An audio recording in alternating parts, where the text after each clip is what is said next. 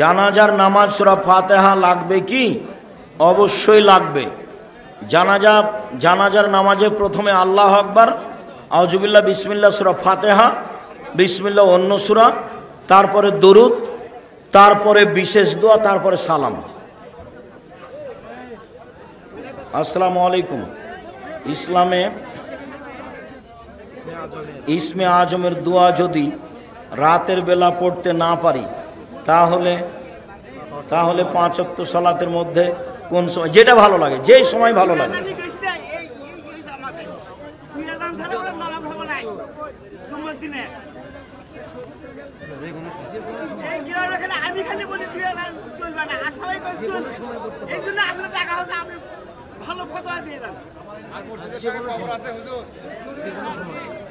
যেসব মসজিদের সাথে কবর আছে সেসব মসজিদে সলাৎ হবে না।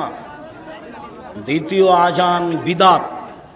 জোর করে ক্ষমতা দেখে কোনো লাভ নেই। ফুফু কোনো অনুষ্ঠান নেই। শায়েখ আমাদের গ্রামে একটা বৃদ্ধাশ্রম আছে। আমরা জানি বৃদ্ধাশ্রম রাখা যায় না। এ বিষয়ে আপনার মতামত কি? এটা রাখা যাবে না। বৃদ্ধ বাপ মাকে ছেলে মেয়ে দেখবে। এই পথ বাতিল। এই পথ হচ্ছে ইহুদি খ্রিস্টানদের নীতি। ছেলে মেয়ে বুড়িয়ে গেলে বা ছেলে মেয়ে দেখবে না, সেই জন্য ওরা ওখানে চলে যাবে। এই নীতি ইসলামের নয়। জন্ম সময় দাঁত নিয়ে বের হয়েছে। এটা কিসের লক্ষণ? এ ব্যাপারে আল্লাহ নবী কিছু বলেননি, হতেই পারে, কোনো সমস্যা নেই।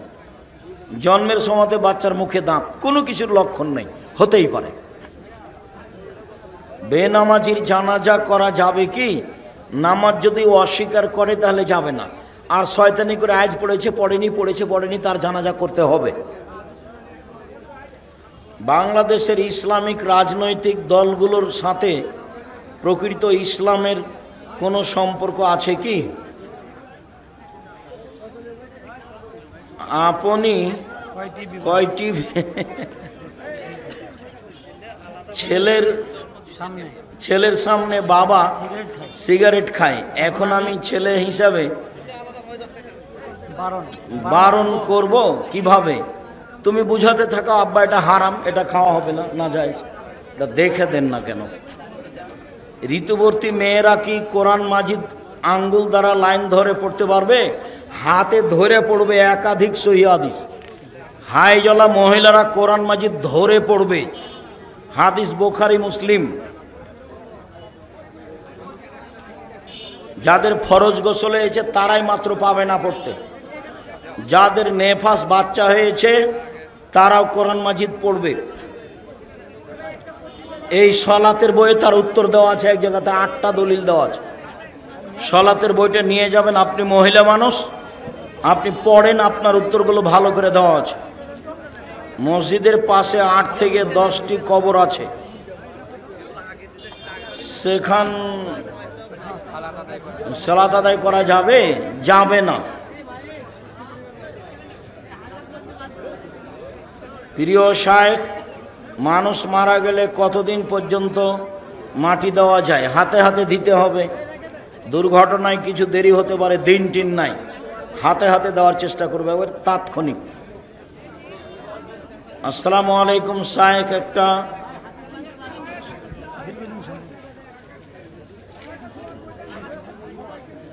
হুজুর, আমার একটা প্রশ্ন। আমার বাবার চারজন সন্তান। তার হাতের যে টাকা, গুরু তার তিন ছেলে মেয়েকে দেয় না। তার সম্পদের উপর বাবার আক্ষেপ। এই ক্ষেত্রে ছেলের করণীয় কি? বুঝাতে থাকো তোমার আব্বাকে। মাটি দেওয়া, মাটি দেওয়ার সময় দোয়া কি? মিনা খালাক না কুমাফিয়া নয়েদুকুম বিদাত। এটা কোরআন মাজিদের আয়াত, এটা বলা যাবে না। কেন যাবে না? আল্লাহ নবী বলেননি এই জন্য। বিসমিল্লা বাস বিসমিল্লা এই মসজিদে এখনও জুম্মার দুই আজান হয়। দ্বিতীয় আজান বিদাত। সামনের জুমা থেকে যেন হয় না। আপনি ক্ষমতা দেখিয়ে কোনো লাভ নেই। আমি নব্বই সাল থেকে ফতোয়া লিখছি। আর সাত বছর থেকে ফতো বোর্ড পরিচালনা করি। কাজে আপনি আমাকে এগুলো দেখায় কোনো লাভ করতে পারবেন না। আমি বলছি, দুই আজান, দ্বিতীয় আজান বেদাত সেই কালে সাহাবে আব্দুল ইবনে উমার বলেছে আপনার এক আজান দিলে সমস্যাটা কোথায়? আপনি বলেন যে নবীরটা করছি, এটা বলতে পারেন না কেন? কেন হবে? হবে না। সামনের জুমা থেকে যেন না হয়, জোর করে ক্ষমতা দেখিয়ে ধর্মে কোনো লাভ নেই। আমার নাম মোহাম্মদ পাপুল পাপুল সরকার। এ নামের কোনো অর্থ নেই। আমার বাবা মা রাখছে। আমি এখন কি করব? তোমার নাম?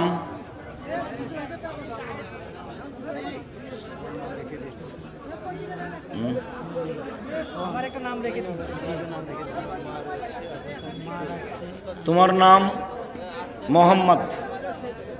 তোমার নাম মোহাম্মদ প্রশংসনীয়। তোমার নাম আজ থেকে মোহাম্মদ। তোমার আম্মা তোমাকে মোহাম্মদ বলে ডাকবে। কলমে লিখার সময় যেটা করেছ সেটাই করবা। মুখে তোমার বাপ মা তোমাকে মোহাম্মদ বলে ডাকবে। তুমিও তোমাকে কেউ যদি জিজ্ঞাসা করো তোমার নাম কি বলবে, আমার নাম মোহাম্মদ। আসসালামু আলাইকুম। ইসলামে ইসমে আজমের দোয়া যদি রাতের বেলা পড়তে না পারি, তাহলে তাহলে পাঁচ অক্ত সলাতের মধ্যে কোন সময় যেটা ভালো লাগে যেই সময় ভালো লাগে।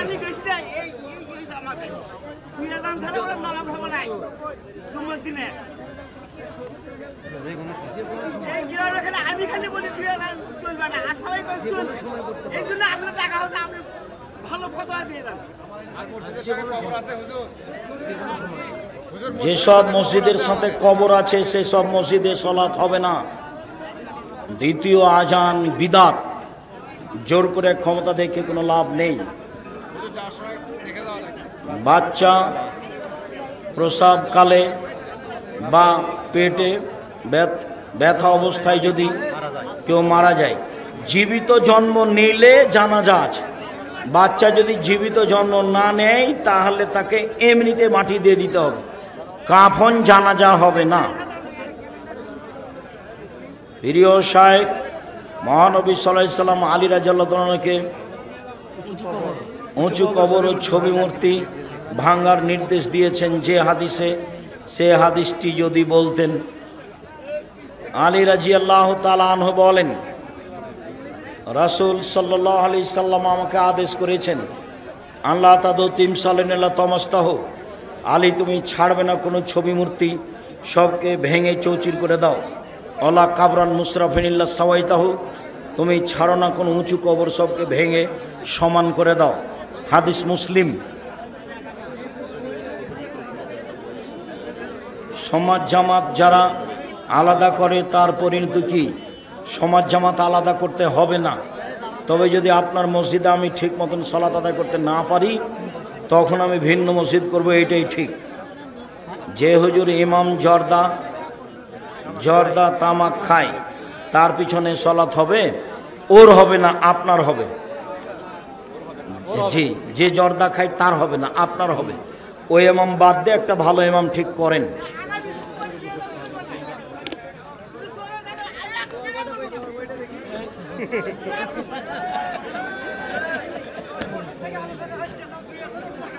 হারাম হারাম খাই সামনে সামনে মরু যাই এম সামনে সামনে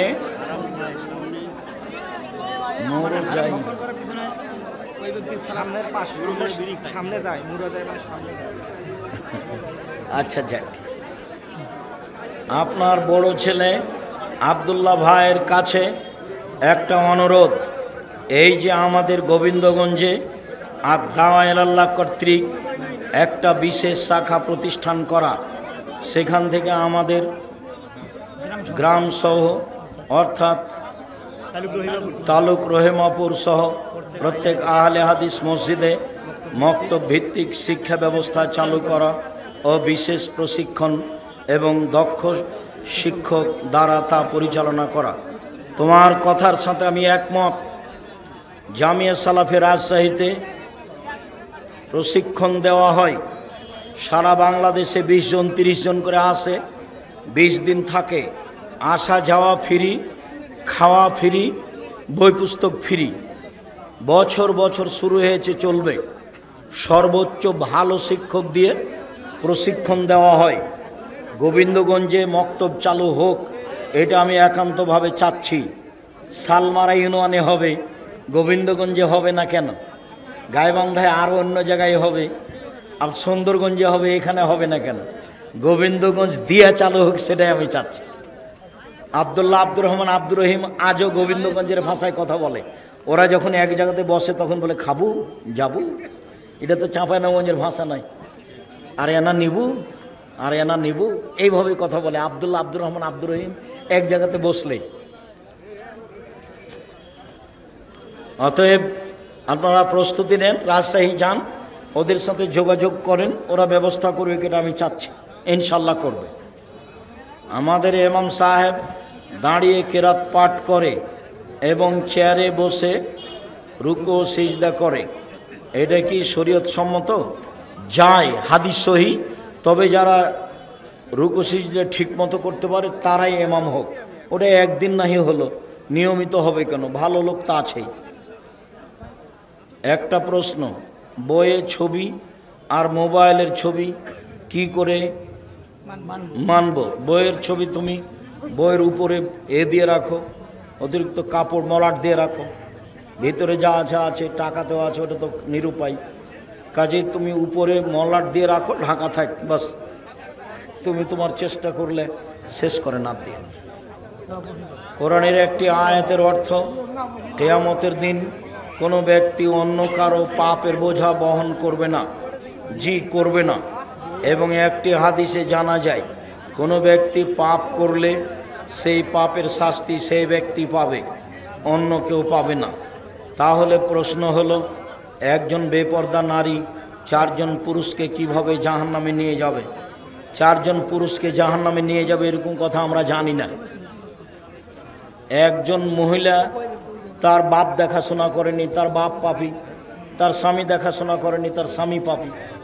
তার ছেলে যদি না করে থাকে, বলে থাকে, তাহলে তার ছেলেও পাপি। এখন কোনটা যে তুমি বললে? ওস্তাজি আমাদের মসজিদের ওক্ত নামাজের এমামকে প্রশ্ন করে পানি ব্যবহার, পেশাব করে পানি ব্যবহার করতে না দেখে ওনাকে বললে, উনি বলেন, আল্লাহ এত জুলুমবাজ। নয় যে শীতের দিনে প্রসাব করে উজু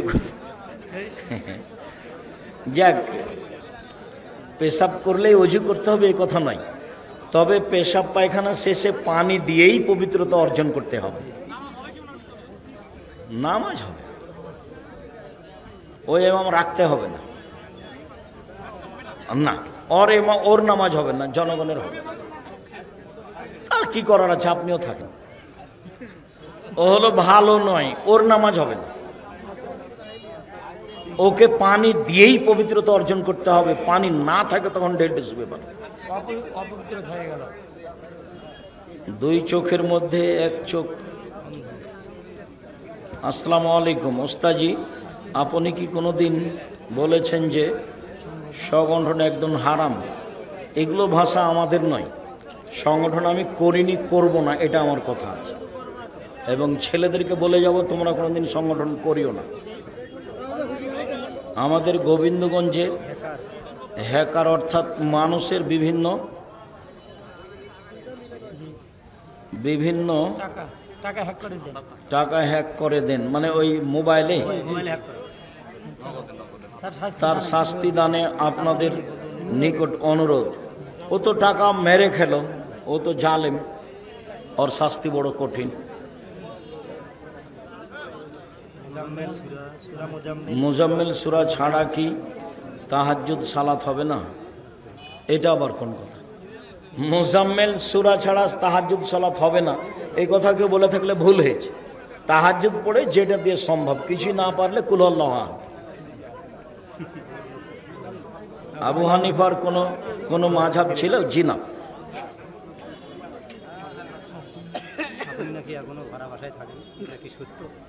আপনি নাকি এখনও ভাড়া ভাড়া বাসায় থাকেন, এটা কি সত্য? জি।